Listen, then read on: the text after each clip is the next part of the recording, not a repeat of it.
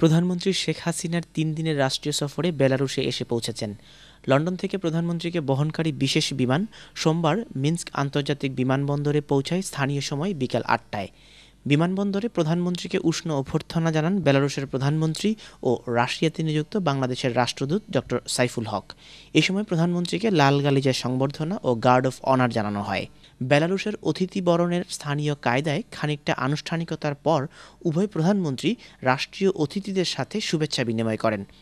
পরে দুই প্রধানমন্ত্রী মিন্স্ক বিমানবন্দরে ভিআইপি লাউঞ্জে সংক্ষিপ্ত বৈঠক করেন। বৈঠকে বেলারুশের প্রধানমন্ত্রী তার দেশের রাষ্ট্রপতির আমন্ত্রণে বেলারুশ সফরে আসায় কৃতজ্ঞতা প্রকাশ করেন।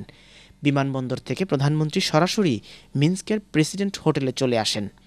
প্রধানমন্ত্রী শেখ হাসিনা এবং বেলারুশের রাষ্ট্রপতির সাথে বৈঠকে আজ একটি বাণিজ্য চুক্তি হবার কথা রয়েছে। এই চুক্তিটি বাস্তবায়ন হলে বেলারুশ এবং রাশিয়ায় পণ্যের শুল্কমুক্ত সুবিধা পাবে বাংলাদেশ।